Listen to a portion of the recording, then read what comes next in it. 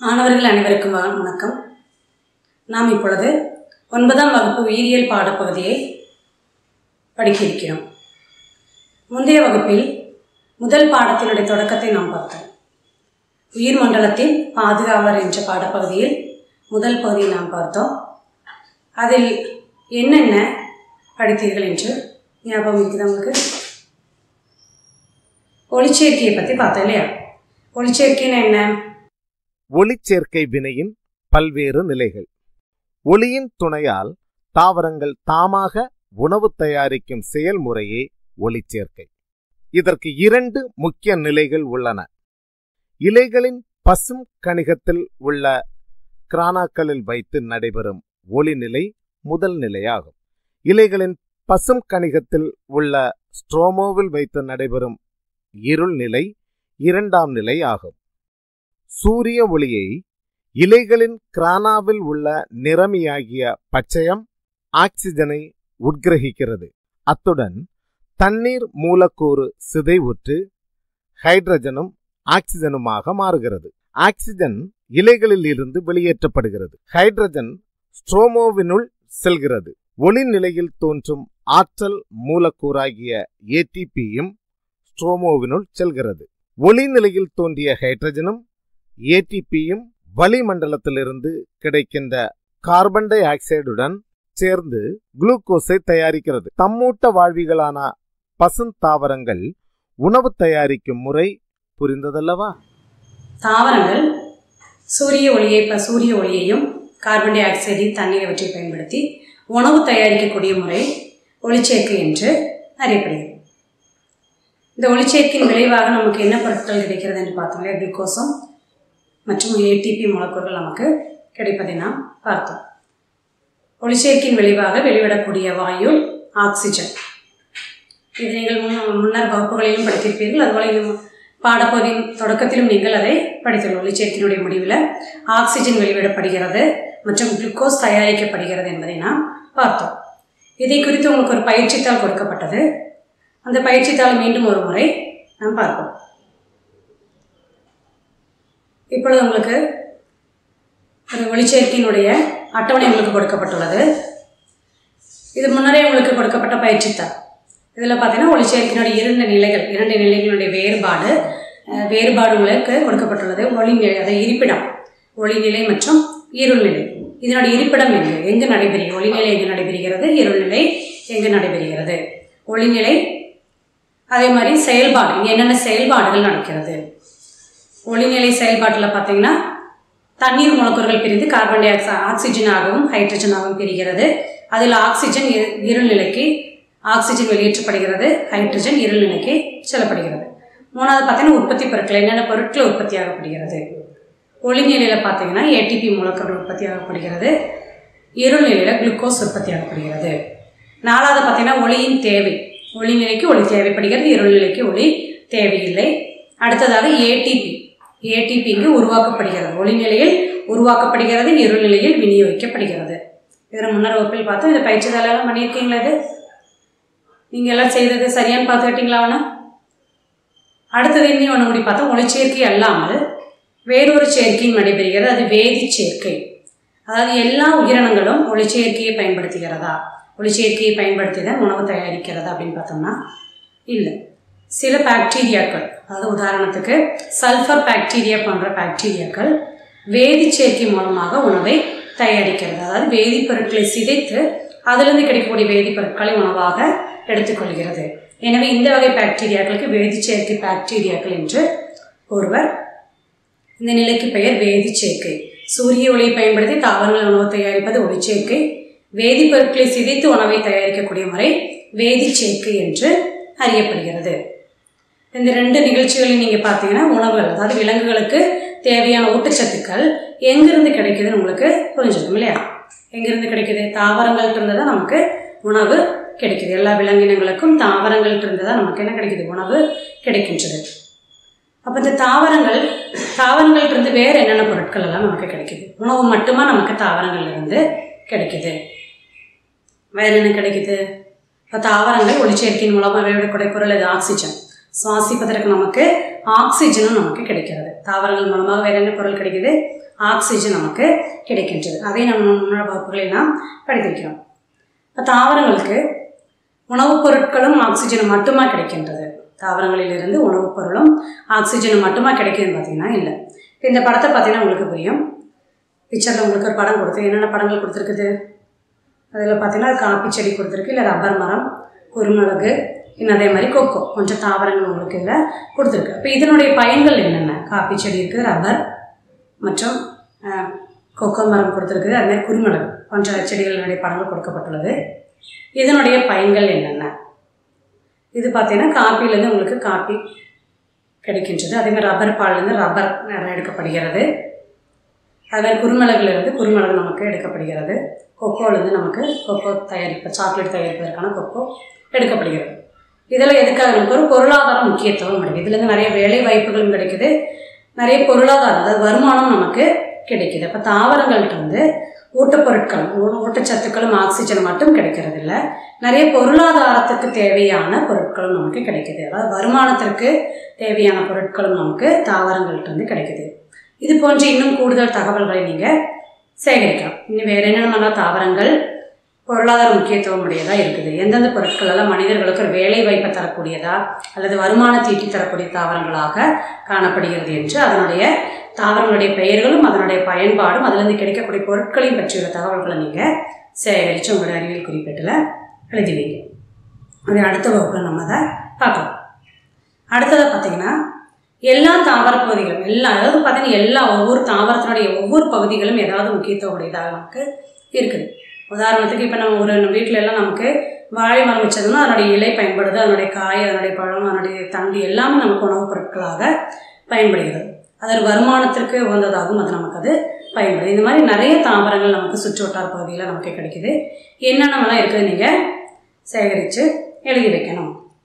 இது மட்டும் இல்லாமல் தாவரங்கள் நமக்கு எங்கே அதிகமாக காணப்படுது? நிலப்பரப்பில் தான் நமக்கு அதிகமாக காணப்படுது இல்லையா? இப்போ நிலப்பரப்பில் மட்டும்தான் தாவரங்கள் காணப்படுதா? நம்மளுடைய வ- பூமின்னு பார்த்தோம்னா அதிகமாக நிலப்பரப்பு நீர்ப்பரப்பு நமக்கு சேர்ந்ததாக இருக்குது இல்லையா? இப்போ நீர்ப்பரப்பில் என்னென்னலாம் காணப்படுது? நீர்ப்பரப்பில் வந்து நமக்கு என்னென்னலாம் நமக்கு காணப்படுதுன்னா தாவரங்கள் விலங்குகள் இருக்குது. தாவரங்கள் அதாவது மிதக்கக்கூடிய தாவரங்கள் வில தாவரங்களும் இருக்குது விலங்குகளும் நமக்கு நிறைய காணப்படுது. அதில் கடல் பகுதி உதாரணத்துக்கு கடல் பகுதியில் பார்த்தோன்னா ஒரு பல்வகைமை நிறைந்த ஒரு பகுதி நமக்கு சொல்லலாம். இல்லையா? நில நீர்ப்பரப்புங்கிறது அல்லது கடல் பகுதிங்கிறது ஒரு பல்வகைமை உயிரினங்கள் நிறைந்த ஒரு பகுதியாக காணப்படுகிறது. நீங்கள் கடலெல்லாம் பார்த்துருப்பீங்களே நிறைய டிவிலலாம் டிஸ்கவரி சேனலெல்லாம் கடல் பகுதியெலாம் நமக்கு காமிப்பாங்க. அதில் பார்த்தீங்கன்னா பல்வேறுபட்ட உயிரினங்களும் காணப்படும். அதில் தாவரங்களும் உங்களுக்கு காணப்படும். இந்த நீரில் வாழக்கூடிய உயிரினங்களுக்கு எங்கிருந்து ஊட்டப்பொருட்களும் ஆக்சிஜனும் கிடைக்கிது? அந்த உயிரினங்களுக்கு பொதுவாக உயிரினங்கள் வாழ்வதற்கு எது முக்கியம்? ஆக்சிஜன் முக்கியம் பார்த்தோம் இல்லையா? அப்போ இந்த நிலப்பரப்பில் அல்லது சாரி நீர்ப்பரப்பில் வாழக்கூடிய உயிரினங்களுக்கு எங்கிருந்து ஆக்சிஜன் கிடைக்கிறது? அதில் உயிர் வாழ்வதற்கு தேவையான ஆக்சிஜன் எங்கிருந்து கிடைக்கிறது அப்படின்னு பார்த்தோம்னா இந்த நீர்ப்பரப்பில் வாழக்கூடிய தாவரங்கள். அதில் வந்து சில தாவரங்கள் மிதவை தாவரங்களாகவும் இருக்கலாம். அல்லது ஆழப்பகுதிகளில் வாழ இருக்கக்கூடிய தாவரங்களாகவும் காணப்படலாம். இங்கே ஒரு படத்தில் உங்களுக்கு ஒரு காண் படம் காண்பிக்கப்பட்டுள்ளது. அதில் பார்த்தீங்கன்னா ஒரு நீர்பரப்பினுடைய படம் காண்பிக்கப்பட்டுள்ளது. அதில் பார்த்தோம்னா நிறைய தாவரங்களும் விலங்குகளோட படங்கள் இங்கே உங்களுக்கு கொடுக்கப்பட்டுள்ளது. இந்த நீரில் இருக்கக்கூடிய ஒரு வகையான தாவரம் தான் என்னென்னு பார்த்தோம்னா ஆல்கா. அதாவது பசுமை ஆல்கா தாவரங்கள் நம்ம சொல்லணும் இல்லையா? ஆல்கான்னு சொல்லி கேள்விப்பட்டிருப்பீங்க இல்லையா? இந்த ஆல்கா பழம் அப்படிங்கிறது பலதரப்பட்ட நிறங்களில் காணப்படுது. பச்சை நிறம் சிவப்பு நிறம் தவிட்டை நிறம் அப்படின்ட்டு பல வகையான நிறங்களின் ஆல்காக்கள் சிறிய ஆல்கா அதாவது கண்ணுக்கு தெரியாத ஆல்காவிலிருந்து கண்ணுக்கு தெரியக்கூடிய பெரிய பெரிய ஆல்காக்களும் இந்த நீர்பரப்பில் காணப்படுது. அதில் ஒன்று தான் என்னென்னா சர்க்காசம். அதாவது தவிட்டு நிறத்தில் இருக்கக்கூடிய ஒன்று தான் சர்க்காசம் என்று அழைக்கக்கூடிய ஒரு ஆல்கா. இது ஒரு மிதவை. இது ஒரு மிதவை தாவரம். தண்ணியிலலாம் நீங்கள் பார்த்தீங்கன்னா தண்ணியில் மேற்பரப்பில் மிதந்து காணப்படக்கூடிய தாவரங்கள் காணப்படும். அதுக்கு தான் நம்ம என்ன சொல்கிறோம் மிதவை தாவரங்கள். இந்த மிதவை தாவரங்களில் ஒன்று தான் ஆல்கா. இது பை இது இதிலிருந்து ஒளிச்சேர்க்கை நடத்தும் பொழுது கிடைக்கக்கூடிய ஆக்சிஜனை பயன்படுத்துது அங்கே இருக்கக்கூடிய உயிரினங்கள் வாழ்கின்றது. அதில் ஒன்று சர்க்காசம் அப்படிங்கக்கூடிய ஒரு ஆல்கா. இது ஒரு தவிட்டு நேரத்தில் காணப்படுறதுனால இந்த நீர்ப்பரப்பு முழுவதும் இது பரவி காணப்படும். இது இந்த இது பரவி காணப்படக்கூடிய அந்த கடல் பகுதிக்கு பேர் சர்க்காசம் கடல் பகுதி என்று அறியப்படுகிறது. இனி பெருங்கடலில் எனும் பெருங்கடல் எனும் வாழ்மண்டலத்தோட முக்கிய உற்பத்தியாளர் யார்? யார் முக்கிய உற்பத்தியாளர்? கடல் பகுதியில் அல்லது நீர்ப்பரப்பில் உற்பத்தியாளர் யார்? உற்பத்தியாளர்னா என்ன? இந்த பொருட்களை உற்பத்தி செய்யக்கூடிய அதாவது உணவை உற்பத்தி செய்யக்கூடியவங்க யார்? யார்? இந்த படத்தில் பார்த்தீங்கன்னா உங்களுக்கு புரிஞ்சிருக்கும் யார்? தாவரங்கள் தான் உங்களுக்கு உற்பத்தியாளர்களாக காணப்படுகிறார்கள். அதே மாதிரி பெருங்கடலில் நடப்பு நடைபெறும் ஒளிச்சேர்க்கையின் முக்கியத்துவம். பெருங்கடலில் ஒளிச்சேர்க்கை நடக்கிறதுனால என்ன பயன்கள்? அப்படின்னு பார்த்தோம்னா பெருங்கடலில் ஒளிச்சேர்க்கை நடக்கும் பொழுது அங்கே உணவும் கிடைக்குது அதோட கூடி ஆக்சிஜனும் கிடைக்கிறதுனால தாவரங்கள் அங்கே இருக்கக்கூடிய உயிரினங்கள் எல்லாமே உயிர் வாழ்வதற்கு பயன்படுகிறது. அப்போ நிலப்பரப்பு மாதிரி நீர்ப்பரப்பும் ரொம்ப முக்கியத்துவம் உடையதாக காணப்படுகிறது. அப்படின்னு என்ன? எந்த அளவுக்கு நம்ம தாவரங்களை பாதுகாக்கிறோமோ அல்லது நீர் ப நிலப்பரப்பை பாதுகாக்கிறோமோ அதே அளவுக்கு நீர்ப்பரப்பையும் நம்ம பாதுகாக்கணும். இப்படி இருக்கக்கூடிய இந்த பெருங்கடல் பகுதிகளெலாம் மாசடைஞ்சா என்னென்ன விளைவுகள் ஏற்படும்? பெருங்கடல் மாசடைகிறதுனால ஏற்படக்கூடிய விளைவுகள் என்னென்ன அப்படிங்கிறத நீங்கள் எழுதும் அதாவது எப்படியெல்லாம் பாதிக்கப்படுறதுனால என்னென்ன விளைவுகள் ஏற்படுது? அது தாவரங்களுக்காகட்டும் மற்ற உயிரினங்களுக்காகட்டும் அதனுடைய பாதிப்பு எந்தவாறு காணப்படுகிறது என்பதை அடையாளப்படுத்தணும். தாவரங்கள் பூமியின் சொத்து அப்படின்னு ஒரு குறிப்பு கொடுத்துருக்காங்க. தாவரங்கள் பூமியின் சொத்து. ஏன் தாவரங்கள் பூமியின் சொத்துன்னு சொல்கிறோம் தாவரங்கள்லாம் நமக்கு என்னென்னலாம் கிடைக்குது? புட்ட பொருட்கள் கிடைக்குது ஆக்சிஜனும் கிடைக்குது. அது மட்டும் இல்லாமல் இந்த தாவரங்கள் வந்து இந்த சுற்றுப்புறத்தை சுத்திகரிக்கக்கூடிய ஒரு மையமாகவும் காணப்படுகிறது. இலவசமாக காற்றை வந்து சுத்திகரிக்கக்கூடிய ஒரு மையமாக இது இருக்குது? இந்த தாவரங்கள் காணப்படுது. எப்படின்னு பார்த்தீங்கன்னா இந்த பூமியில் இருக்கக்கூடிய கார்பன் டை ஆக்சைடு எல்லாம் தாவரங்கள் எடுத்துக்கிட்டு நமக்கு இந்த சுத்தமான ஆக்சிஜனை நமக்கு வெளிவிடுது. அது நமக்கு சுவாசிப்பதற்கு பயன்படுகிறது. எனவே தாவரங்கள் ஒரு நம்முடைய பூமியின் சொத்தாக நமக்கு காணப்படுகிறது. அப்போ இது தாவரங்கள் ஒவ்வொன்றையும் பாதுகாப்பது நம்முடைய கடமை. அதனால தான் ஜூன் அஞ்சு என்விரான்மெண்டல் டேலெலாம் நம்ம கொண்டாடுறோம் தாவரங்களுடைய முக்கியத்துவத்தை பற்றி உணர்த்தக்கூடிய வகையில் ஜூன் அஞ்சு என்விரான்மெண்டல் அதாவது சுற்றுப்புற தினமாக நமக்கு உலக சுற்றுப்புற சுற்றுச்சூழல் தினமாக நமக்கு கொண்டாடப்படுகிறது. அதே மாதிரி ஜூன் எட்டு ஜூன் எட்டுன்னு பார்த்தீங்கன்னா நமக்கு பெருங்கடல் பெருங்கடல் தினமாக பெருங்கடல் பாதுகாப்பு தினமாக ஓசிஎன்டி அப்படின்னு சொல்லிட்டு கொண்டாடுறாங்க. ஏன்னா அந்த பெருங்கடல் மாசாடைவதை தடுத்து அதை பாதுகாக்கணும். அதில் வாழக்கூடிய உயிரினங்கள் எல்லாம் பாதுகாக்கணும் நோக்கத்தோட கொண்டாடப்படக்கூடிய ஒரு தினம் தான் அது ஓசியன் டே அப்போ இதெல்லாம் நீங்கள் உணர்ந்து இதை பற்றியுள்ள குறிப்பை நீங்கள் தயாரிக்கணும்.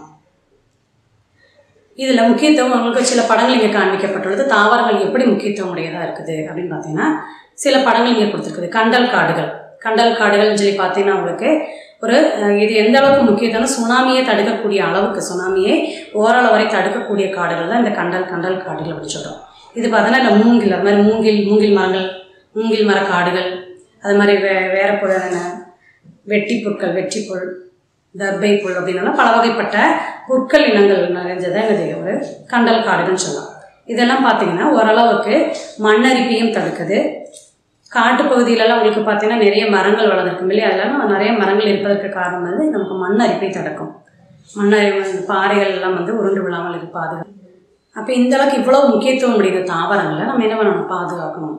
ஏதாவது இயற்கை சீற்றங்கள் இயற்கை பேரழிவு ஏற்படும் பொழுது அது இயற்கையை மட்டும் பாதிக்காது. அதாவது தாவரங்களுக்கு எந்த விதமான பாதிப்பும் இல்லை. இயற்கைக்கு எந்த விதமான பாதிப்பும் இல்லை. இப்போ இயற்கை பேரழிவு ஏற்பட்டுச்சுன்னா அது யாருக்கு பாதிப்பு? இந்த பூமியில் வாழக்கூடிய ஒவ்வொரு உயிரினங்களுக்கு தான் அது பாதிப்பு மனிதர்களுக்கும் விலங்குகளுக்கும் தான் அது பாதிப்பாக அமைகிறது. எனவே இந்த இயற்கையை நாம் பாதுகாப்போம். சரியா? இப்போ இந்த இயற்கையை பாதுகாக்கக்கூடிய முறையில் அதுக்கு என்னென்னலாம் நீங்கள் செய்யலாம்? இந்த இயற்கையை பாதுகாப்பதற்கு உங்கள் ஒவ்வொருவராலும் என்ன செய்ய இயலும் என்பதை பற்றி ஒரு க- ஒரு ப்ராஜெக்ட் வடிவில் அல்லது ஒரு செயல் திட்டத்தினுடைய வடிவில் நீங்கள் அதை எழுதி வைக்கணும். அடுத்து பார்த்தீங்கன்னா இந்த புக்கில் உங்களுக்கு கொடுத்தக்கூடிய தொடர் செயல்பாடுகள். நிறைய தொடர் செயல்பாடுகள் புக்கில் கொடுத்துருக்குது. அதை நீங்கள் வெளியிட்டு வந்திருக்கணும் இங்கே படத்தில் இப்போ காமிச்சிருக்கிற சில தொடர் செயல்பாடுகள் தாவர பகுதிகளும் குளுக்கோஸினுடைய வேதி மாற்றம் ஆகும் தாவரத்தினுடைய ஒளிச்சேர்க்கையின் முடிவில் குளுக்கோஸ் உருவாக்கப்படுது. அந்த குளுக்கோஸ் என்னென்ன பொருட்களாக மாற்றப்படுது? தாவரங்களில் குளுக்கோஸின் போக்குவரத்து பச்சை நிற தாவரங்கள் ஒளிச்சேர்க்கையின் வாயிலாக குளுக்கோஸை தயாரிக்கின்றன. இந்த குளுக்கோஸ் நீரில் மிக விரைவாக கரைவதால் தாவரங்களுக்கு குளுக்கோஸை அதே வடிவத்தில் சேமித்து வைக்க இயலாது. நீரில் கரையாத மாப்பொருள் என்ற வேதி வடிவத்தில் குளுக்கோஸை தாவரங்கள் இலைகளில் சேமிக்கின்றன. பல்வேறு உயிர் வினைகளுக்கு தேவையான ஆற்றல் உறைவிடமாகவும் வளர்ச்சிக்கு தேவையான பொருட்களை உருவாக்குவதற்கும் இந்த மாப்பொருளை தாவரங்கள் பயன்படுத்துகின்றன. சேகரித்த மாப்பொருளை சுக்ரோஸ் என்ற மூலக்கூறாக மாற்றுகிறது. இந்த சுக்ரோஸ் மூலக்கூறுகள் ஃப்ளோயம் குழல்கள் வழியாக பிற தாவர பகுதிகளை அடைந்து பல்வேறு வடிவங்களில் சேமிக்கப்படுகின்றன. கிழங்கு வகைகளில் மாப்பொருளும் பயிறு வகைகளில் புரதமும் எண்ணெய் விதைகளில் கொழுப்பும் பழ வகைகளில் ஃப்ரெக்டோஸும் கரும்பில் சுக்ரோஸும் இதற்கு எடுத்துக்காட்டுகள் ஆகும். எந்தெந்த பொருட்களாக தாவர பகுதிகளில் சேமிக்கப்படுகிறது என்பதை பற்றி ஒரு அட்டவணை தயாரிக்கலாம். கிழங்கு வகைகளில் மாப்பொருளும் பயிறு வகைகளில் புரதமும் எண்ணெய் விதைகளில் கொழுப்பும் பழ வகைகளில் ஃப்ரக்டோஸும் கரும்பில் சுக்ரோஸும் இதற்கு எடுத்துக்காட்டுகள் ஆகும். ரெண்டாவதா பாத்தீங்கன்னா பசுங்கணியத்தினுடைய படம் வரைந்து அதனுடைய பாகங்களை நீங்க அடையாளப்படுத்தணும். மூன்றாவதாக இங்கே ஒரு அறிவியல் ஒரு படம் கொடுத்துருக்காங்க இல்லையா? இப்போ படம் கொடுத்ததில் பார்த்தீங்கன்னா ஒளிச்சேர்க்கையினுடைய ஒரு படம் இவங்க வந்து கொடுத்துருக்குறாங்க. அதனுடைய வீடியோனுடைய குறிப்பு உங்களுக்கு கொடுத்துருக்குறாங்க. திக்ஷா அப்படிங்கிறதுல நீங்கள் டவுன்லோட் பண்ணீங்கன்னா அந்த வீடியோ உங்களுக்கு கிடைக்கும். ஒளிச்சேர்க்கை வழியாக தோன்றும் விளைவுப் பொருள் ஆக்சிஜன் என்பதை புரிந்து கொள்வதற்கான சோதனை. ஒளிச்சேர்க்கைக்கு தேவையான காரணிகள் நீர் கார்பன் டை ஆக்சைடு தாதுப்பொருள் பசும் கணிகம் சூரிய ஒளி என்பனவாகும். ஒளிச்சேர்க்கை வழியாக குளுக்கோஸும் ஆக்சிஜனும் உருவாக்கப்படுகிறது. ஒளிச்சேர்க்கை வழியாக உருவாகும் விளைவுப் பொருள் ஆக்சிஜன் என்பதை புரிந்து கொள்வதற்கு இந்த ஆய்வு உதவும். பீக்கரில் உள்ள நீர் தாவரத்தை வைக்கவும். ஒரு புனல் பயன்படுத்தி தாவரத்தை மூடி வைக்கவும். நீர் நிரப்பிய ஒரு சோதனை குழாயை புனலின் வால் பகுதியில் கவிழ்த்து வைக்கவும். நல்ல சூரிய ஒளி கிடைக்கும் இடத்தில் வைக்கவும். சோதனை குழாயின் உள்ளே புனலின் வால்பகுதி வழியாக குமிழ்கள் உயர்ந்து வருவதை பார்த்தீர்கள் அல்லவா? சோதனை குழாயின் உள்ளே சேகரிக்கப்பட்ட வாயு எது என்பதை எவ்வாறு புரிந்து கொள்ளலாம்? சோதனை குழாயின் வாய்ப்பகுதியில் எரியும் தீக்குச்சியை காட்டியபோது என்ன நிகழ்கிறது? என்பதை பார்த்தீர்கள் அல்லவா அப்போ அதை ஓபன் ஓப்பன் பண்ணி பார்த்தீங்கன்னா அதில் படம் கொடுத்துருக்கு. ஒளிச்சேர்க்கை நடக்கக்கூடியது. இப்போ இதே மாதிரி இதே மாதிரி ஒரு மாதிரி வடிவம் நீங்கள் தயாரித்து சூரிய ஒளி படக்கூடிய இடத்துல வைக்கணும். இப்போ சூரிய ஒளி படும் பொழுதும் சூரிய ஒளி கிடைக்காத பொழுதும் அதில் என்னென்ன மாற்றங்கள் ஏற்படுகிறது என்பதை பற்றி நீங்கள் ஒரு செயல் திட்ட குறிப்பு நீங்கள் ஒன்று தயாரிக்கணும். அடுத்து நாலாவது பார்த்தீங்கன்னா ஒளிச்சேர்க்கையினுடைய ஒரு மாதிரி வடிவம். இங்கே ஒரு மாடல் கொடுத்துருக்குறாங்க உங்களுக்கு பிக்சரில் கொடுத்துருக்குறாங்க. இதே மாதிரி வேறொரு மாதிரி வடிவம் நீங்கள் ஒன்று தயாரிக்கணும். அடுத்ததாக பார்த்தீங்கன்னா பூமி வெப்பமடைவதற்கான காரணம் என்னென்ன? அதனுடைய தீர்வு காரணம் என்னென்ன? அதுக்கு நீங்கள் என்னென்னலாம் செய்யலாம் அப்படிங்கிறத செமினார்கள் அதாவது கருத்தரங்க வடிவில் நீங்கள் ஒன்று தயாரித்து வைக்கணும். அது நீங்கள் ரெகுலர் கிளாஸ் வரும்பொழுது ஒவ்வொருத்தரும் இந்த செமினாரை நீங்கள் கிளாஸில் எடுக்கணும். இந்த ஒர்க்கு நீங்கள் அடுத்த கிளாஸ் வர்றதுக்குள்ள இந்த ஒர்க்கெல்லாம் நீங்கள் செய்து வைங்க. நம்ம மீதி உள்ளதை அடுத்த கிளாஸில் நம்ம பார்ப்போம்.